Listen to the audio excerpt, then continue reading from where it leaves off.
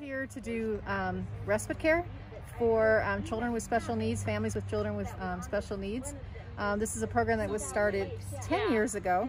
Um, cooperation between um, the health department and um, CSU Pueblo Nursing.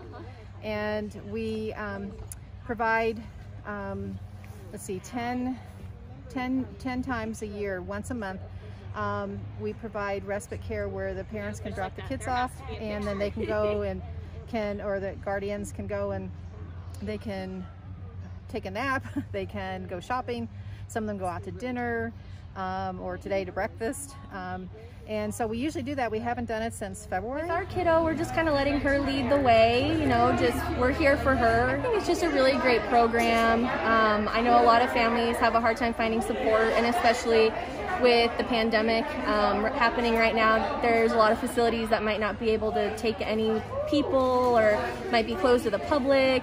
Um, other aids might not be as available right now. So, you know, I think in the climate that we're in right now, it's a really nice break for some parents, especially when they've been with the kids, like when daycare is closed, when school is closed. So yeah, just a really nice day, get the kids out